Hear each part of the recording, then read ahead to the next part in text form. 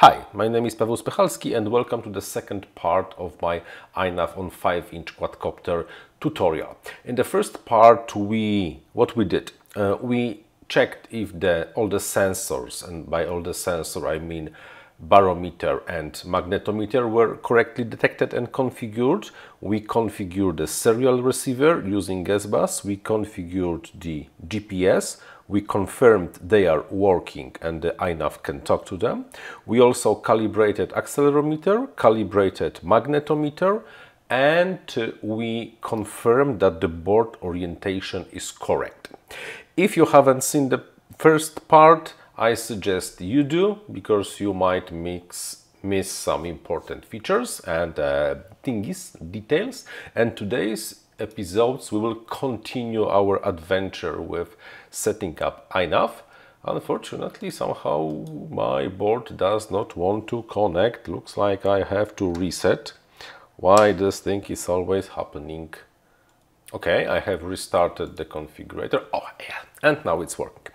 In today's episode, we're gonna concentrate on two things. First, on the mixer.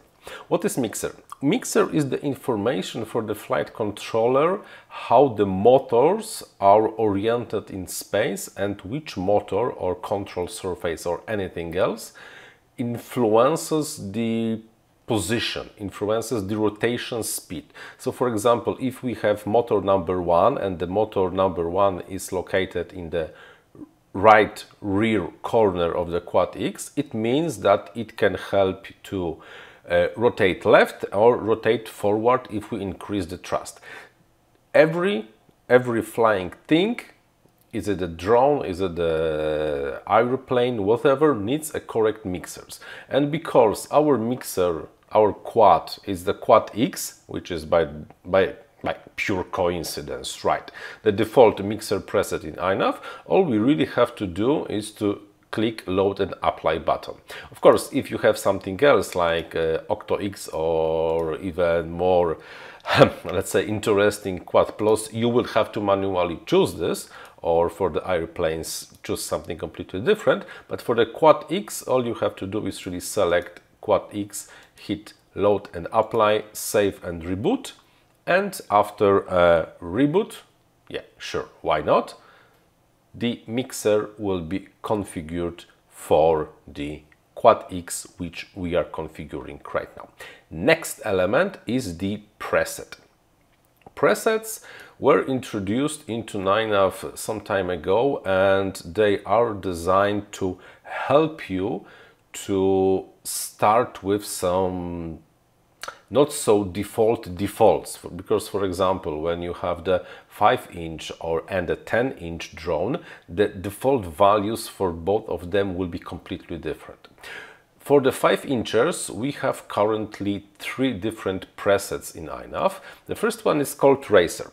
This was designed for the um, 5 inch drones built, let's say, like two years ago with uh, not so powerful motors and older ESCs that can only do one shot 125, no multi-shot protocol or stuff like that. So if you have like two years old drone, this might be the correct 5 inch preset for you. 5 inch performance is rather for something more recent, like let's say last year with bigger motors 25 2306, 24, maybe 2208 with the good ESCs that can run the multi-shot or even D-shot protocol and with at least F4 but preferably F7 flight controller to really utilize all that iNav can give you in terms of the raw flight experience and you have something called the 5-inch GPS. This is very similar preset to 5 inch racer with let's say even with the F3 flight controller. It's rather outdated and my really suggestion is to with the recent builds go with 5 inch performance. Yes, it that says that it uses more aggressive filter tuning, blah blah blah blah blah. But to be honest, this is those are more or less the same values that Betaflight is using for quite some time. So it's fine if you do not have really like destroyed propellers and bended motors and really crappy crappy quad. This is really the 5 inch preset for you. If you have something older, then 5 inch GPS or 5 inch racer uh, but they are rather like I said for older design with preferably the F3 flight controllers. We in our case will work with the 5 inch performance. So let's hit apply. Yes we want to save and reboot. And after the reboot of course because there's almost always a need for a reboot we can go to configuration page and check that yes, the gyroscope LPF cutoff frequency is set to 256 Hz, which is equivalent of the Betaflight off, which is the default value on the Betaflight. Yes, we want to synchronize loop time with gyroscope and that flight controller loop time is defaulted to 4 kHz. Now, there is a warning over here PID loop time might not be stable if GPS is in use.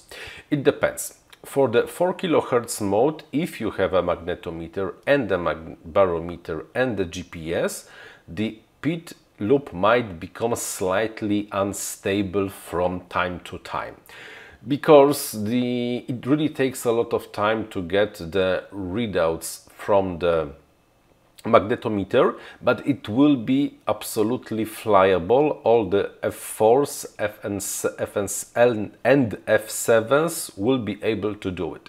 My 6-incher and 7-incher both equipped with GPS and magnetometer and F4 and F7 processors are using 4 kHz loop.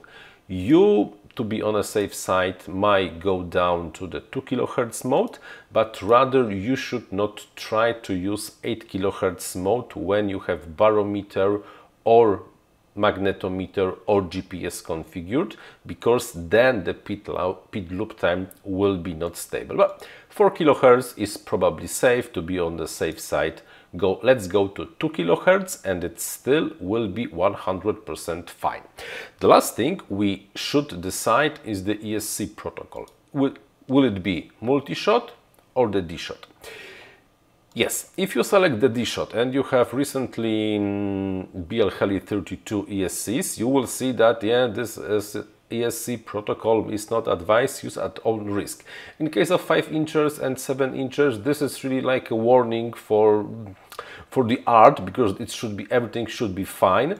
But if you have something bigger and you want to use D-shot then you should really be careful. D-shot 300 is safe all the time D-shot 600 is safe if you have relatively small drone like 5 to 7 inches where the cables are relatively short and there is not a lot of electrical noise on the cable. So this is 5 incher, so I can safely ignore this warning in this case and select D-Shot 600. If I would have slightly older ESCs, I would have to select multi-shot, but I don't. We also have to switch the enable motors and servo output because we want our motors to be receiving some signals from the flight controller. And my advice absolutely never check this box. You motors should always be spinning when the quad is armed you don't want to motors to stop spinning if the quad is armed because this is a shortest road to a catastrophe and uh, fingers cuts and uh, some things like that. So never check this. Personally i would even prefer to get rid of this but the guys are not letting me do it. Last thing on this page and for today is that we should check if the OSD is enabled because we will want to use the OSD later. That yes iRemote is enabled all the time because well it is. Also that the telemetry output is enabled or not. No this quad will not have a telemetry. This is interesting. So no telemetry for me no 3d mode no led support because i'm not usually using this with iRemote. And last decision. Last decision for today. Do you want to have the profile selection with transmitter stick commands? Um, I'm not using this ever because my fleet is usually uniform. If I fly on 4S, then I fly on 4S. Do not switch. Sometimes you might want to do it, but usually I switch this off. And, and yeah, I think we are done for the configuration page. And also, this is all for today. In the next episode, we will take a look at PIDs and filtering. Until the next one. Bye bye.